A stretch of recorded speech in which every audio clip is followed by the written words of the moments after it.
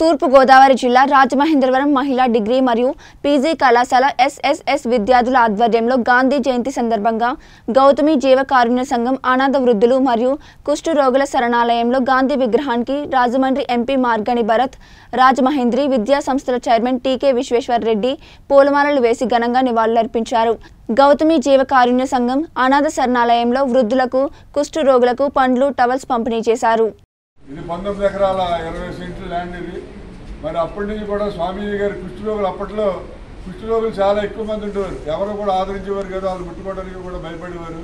అటువంటి టైంలో స్వామీజీ గారు ఆ కుష్ఠరోగులందరినీ తీసి ఇక్కడ వాళ్ళందరికీ కూడా పబ్లిక్గా సహకారంతో ఒక ఇల్లులాగా చిన్న చిన్న గుడారాలా నిర్మించి అందులో పెట్టి వాళ్ళందరికీ పోషణాభారం వైద్యం అన్నీ కూడా స్వామీజీ గారు చూసేవారు. తర్వాత మరి ప్రభుత్వం వారు ఈ జీవకరణ సంఘాన్ని హ్యాండ్ ఓవర్ చేసుకోవడం జరిగింది.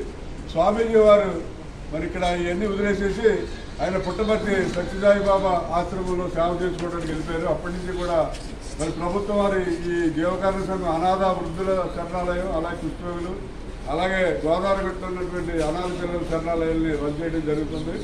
మరి మన జిల్లాలో చూసుకున్నట్లయితే కుష్ఠరోగులకి అనాథ వృద్ధులకి అనాథ పిల్లలకి ఉన్న ఏకైక శరణాలయం ఏదంటే మరి గౌతమి జీవకారణ సంఘం. రాష్ట్ర వ్యాప్తంగా ఈ జీవకరణ సంఘానికి ఎంతో పేరు ప్రఖ్యాతలు ఉన్నాయి.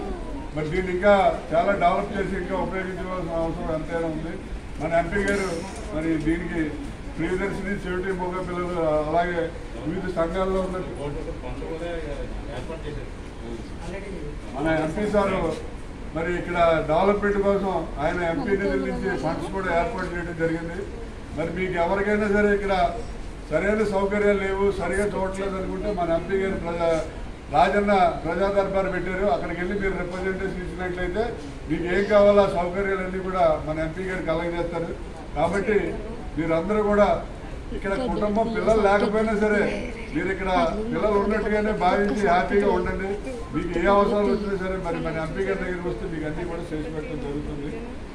మరి ఈ రోజు మరి ఈ కార్యక్రమానికి ఎంపీ గారు ఆయనతో పాటు చాలా మంది పెద్దలు వచ్చారు. వారికి అలాగే మన ఈవో గారికి ఉన్నటువంటి సంఘ స్టాఫ్కి అందరికీ కూడా హృదయపూర్వకమైనటువంటి ధన్యవాదాలు తెలియజేస్తూ చాలా మన ఎంపీ గారు